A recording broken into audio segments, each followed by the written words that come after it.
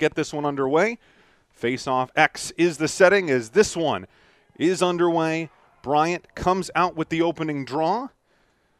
Tried to flip it forward, and it does connect with its intended target, the swarming defense of BU seconds for Bryant. Whistle brings us back into play.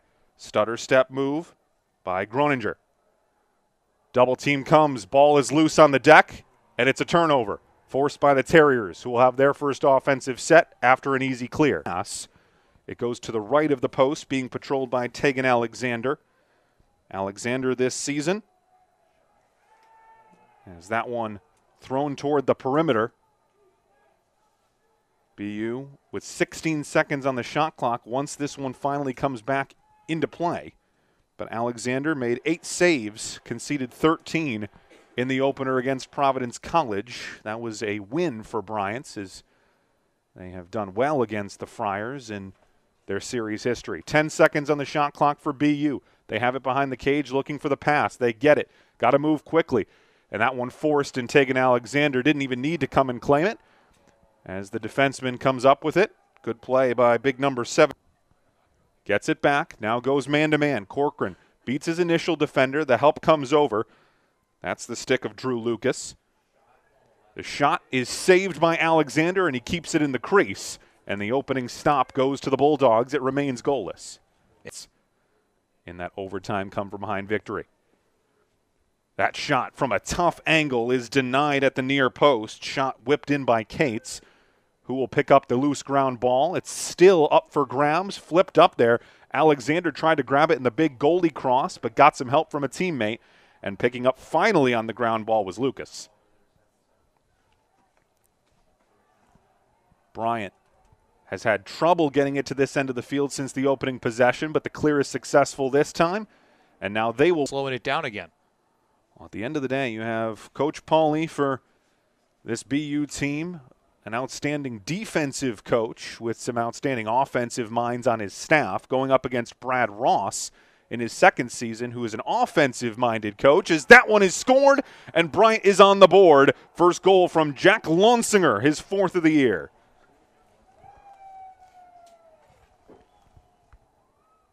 All set up by a good pass. Lonsinger coming off a four point day season opener, I should say, against Providence College. Got free, got right on the doorstep, and made that look easy, putting it past Will Barnes. Off a good pass as well. Take another look. Watch Lonsinger sort of work his way behind Dane DeGoler. Got the lane.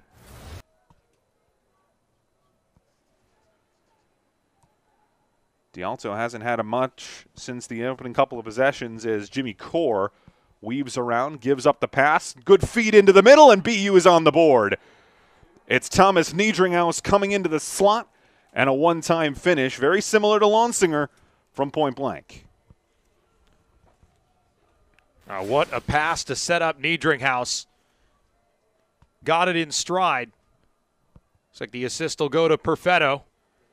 How fitting. We talked about him at the top of the broadcast as well. Perfect pass to the grad student. Pair of graduate students. Against the Catamounts of Vermont. Bryant successful for a third time from the faceoff X, and the spinning finish inside gives Bryant back the lead in short order. Great finish by Kevin Groninger. And he has his fifth goal of the season, and it spurs a quick timeout from Ryan Polley. It's going to be a media timeout, but first we got to see a nice pass and a great spin finish. So as we head to immediate timeout here on ESPN Plus, it is the visitors with a slender one-goal lead. It's Bryant two point of this first quarter. Mason Stelf, Paul Lambert. Pleasure to have you as the commuter rail goes by in the distance. And Bryant takes another face-off win. They have had the edge there in the first eight minutes. And it looks like both teams starting to settle in. Speaking of settling in, it's the same exact play that they've scored on now, not once but twice as Timmy Hackett makes it 3 1 Bulldogs.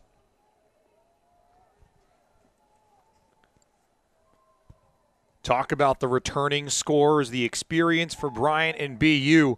Another graduate student in Hackett had a goal and two assists against the Friars. Another pass catches him in stride, passing for the Friars. And Terriers has gotten better as this first has gone on. Clear. Will Ronan gets it to a teammate. That's Luca Lietti. And the Bulldogs do indeed clear the ball. And I like the patience from Bryant here in the first. You've held BU to one goal, which I think is more important than the fact you've scored the three in this first period. But you want to take your time, limit the possessions, score on the ones you get. Ball in the stick of John Tomchek. Tomchek draws two defenders. They go behind the cage. That's where they've been successful. Every time they've gone behind, it's been a quick swing and a score as Groninger has two. 4 1 Bulldogs. Timeout BU. Passing has again been on point for Bryant, forcing the Terriers into another timeout. Not only are they creating stops on the other side, holding the Terriers to one goal, Mason, they've also tacked on the goals. Groninger with his second of the game, sixth of the season. He had four full 56 seconds on the shot clock. Get a look you like, and then you're up a man. Potential huge turn. They have it in the stick of Timmy Hackett. That ball is going to be touched, but now the penalty will indeed be whistled. So That's for a- the first time today, a team goes man down, and it is the Terriers already trailing by three. You're going to see it right here, and it's pretty obvious. Yeah, it's cut and dry. Like Calderon with the contact. But what a stop for Barnes in the cage because then you prevent really a it's it's it's a goal, but that feels like a two goal. Putting him this time is Will Ronan. Still D'Alto. Two defenders come. 17 seconds on the shot clock. BU with the long skip pass. That one from distance. Alexander blocks it. Is it still in the crease? Everybody pigpiling on top. That ball is outside the blue circle, so who will they give it to? And they say they are they are going to say it was in the crease, so Tegan Alexander is claiming it. It was very close. Alexander was able to get is a 4 1 lead for Bryant over the 15th ranked BU Terriers, and it's another face off victory for Liberty and the Bulldogs. That's been the story, and it continues to be the story. Played on one bounce and reset by Timmy Hackett. Matched up with Roy Meyer, the other Tewaaraton nominee on this BU roster. A little bit small at 5'10, but boy, is he arguably the best long stick midi, not just in the Patriot League. He might be the best long pole in the nation. As that one slips through, BU on a tight angle could not keep it out, and a great shot by Mason Druin gets his third of the campaign. 5'10 senior from Denver. This is the first time BU has had possession. It is 5 1 Bryant, certainly not out of reach. This is a long game, but BU needs a goal and needs it badly. And they get one! Whipped home on the sidearm. Gorgeous finish by Tommy Bork.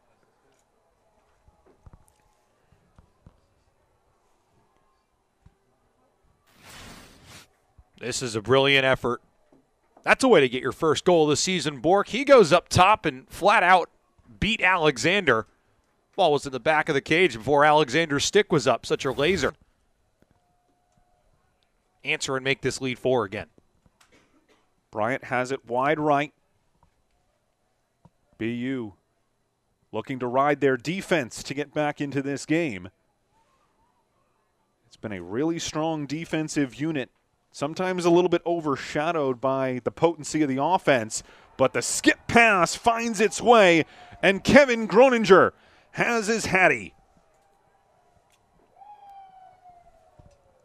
The six foot graduate student from San Juan Capistrano gets it on the skip pass. Watch this go top right to bottom left in a blink of an eye. Yeah, set up on a an excellent pass from Aiden Goltz. Goltz will get a well.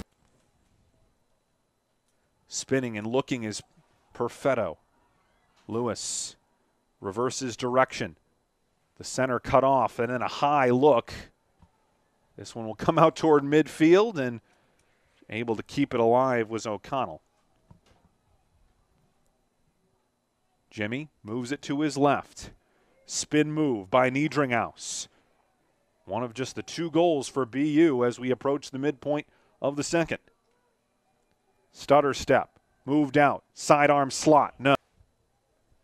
It has been a good day for the Bryant Bulldogs as they have won all 10 face-offs. They lead it 6 to 2 over the 15th ranked team in the country. The BU Terriers here from Nickerson Field and that's a good takeaway. Reading it through the air and picking it off was Luke Davis. Clear is successful. That one bounces up and Bryant's going to take it right back.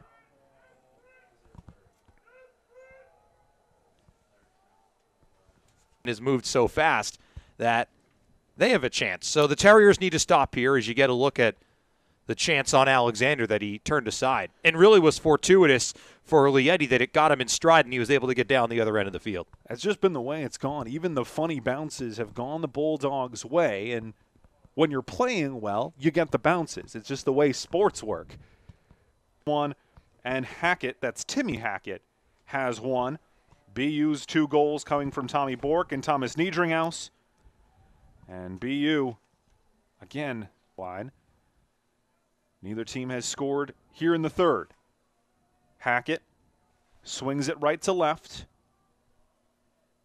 Initial defender beaten. Barnes couldn't get the rebound, and it's stuffed in up front. And Jack Lonsinger has his second today. Off another ricochet that goes right to a Bulldog. Lonsinger, you could say it's luck, right place, right time, but this is credit to the Bulldogs for getting themselves on the doorstep again. See Lonsinger, he's able to beat a mess of Terriers in, got a good look, put it in. And that next goal we talked about would be important and hope that your teammates are able to get to it or it takes a bounce to a Terrier. That time didn't. And again, Bryant slowing things down. They've already burned off half of this third period. Now just down to seven minutes to go in it. That pass found its target, and it's the second tight angle shot today that's gone home, and Jack Lonsinger joins the hat trick party. Three for Groninger, and now three for Jack Lonsinger. Well, that's a way to go into your media timeout if you're Bryant up eight to two. Defense doing its thing, offense finding its spots. Jack Lonsinger, the second Bulldog, with that hat trick, Mason. So we take the media timeout. None too soon for the Terriers. They are down a half dozen. As we head to break here on ESPN Plus, it's Bryant 8 and BU 2.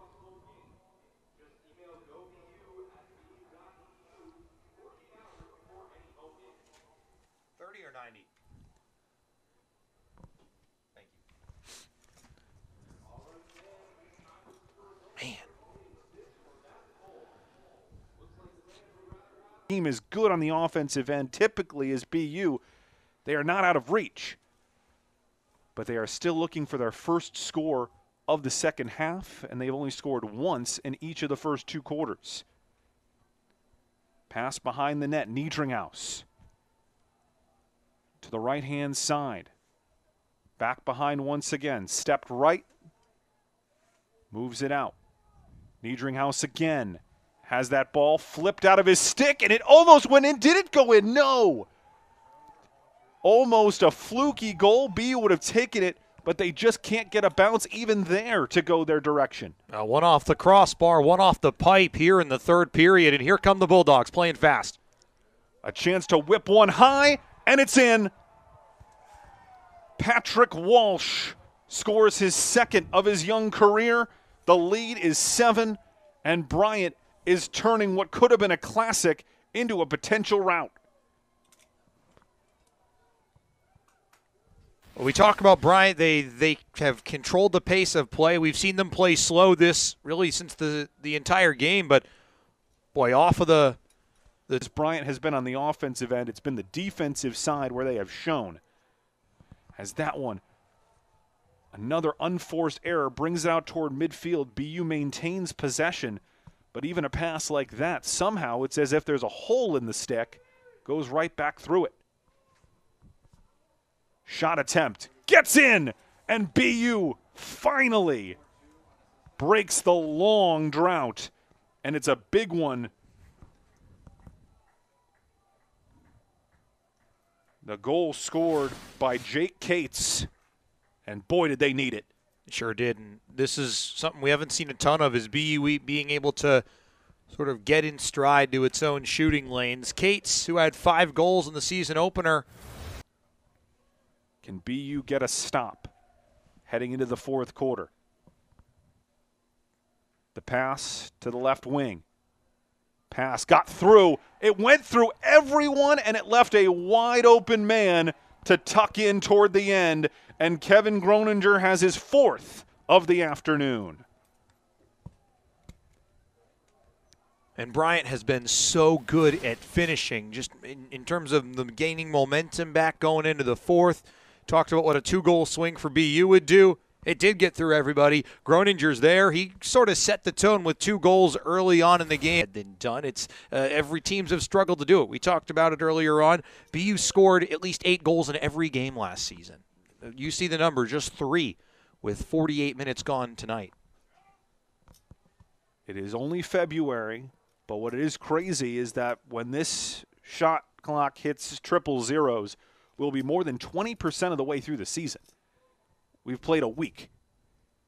It is a short but very, very compact schedule.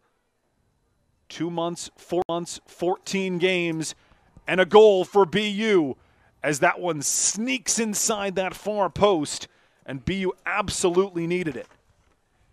It's Perfetto, who has an assist in this game, who now scores his first goal of the day, now up to nine this season and a ridiculous 17 points through just two plus games. Perfetto does a good job working past both Alexanders. He beat Tanner to get the shooting lane, beats Tegan for the goal. Tried to pass it off, but Jake Cates ended up throwing it to the Bulldogs instead and then drawing with the official as we have a chance for a breakaway for Bryant, but they will do the smart thing if they can and just take more time off the clock. That's Tegan Alexander who took the ball all the way up. And it eventually finds its way to Mason Druin, and Druin makes it 11 4. And these Bryant faithful continue to celebrate. Could be the biggest win in Brad Ross's short two year tenure in charge of these Bulldogs as he is dominating the 15th ranked team in the country right now. You said it. Don't be surprised. Or it bowls for the Bulldogs, and these are all must stops. But you said it too for Bryant. Taking the shot clock down the full 80 seconds. Again, you do the math on it. That's about as good as it gets in terms of scoring. But BU a big answer. We still have more than the entire second half of this quarter to play. A good shot by Perfetto as he has started to put BU on his back. He has scored his second goal of the quarter. That's his third point of the day. And that's a really nice pass. So we will head to a break, our final media timeout, as with 7.36 to play in the fourth quarter. It's Bryant 11, BU 5. You're watching the Patriot League on ESPN Plus. You'd expect at this point in the season, but you still have that game against UMBC in a month's time circled. Bryant takes advantage as they tried to put a little bit of a press on and wrapping around the far side cage and tucking it in was Tommy Hack or Johnny Hackett. And Johnny matches his brother with a goal today. Today, as both Hackett brothers on the score sheet. Yeah, goal is left open. Hackett wins the race to the lane, and Bryant really. And Bryant will see out these final few seconds. And that reaction from the bench says it all. They will go and swarm Tegan Alexander. And a dominant performance against a ranked foe on the road. If Bryant Lacrosse wasn't on the map before, it is now as they take down BU here at Nickerson Field. 12 6. Paul, your final thoughts. Well, it's a big win for Bryant for a lot of reasons. This is you're avenging a, a, tough loss from last season, not you're going up against a ranked opponent on the road early on, trying to defend that sort of uh, your honor from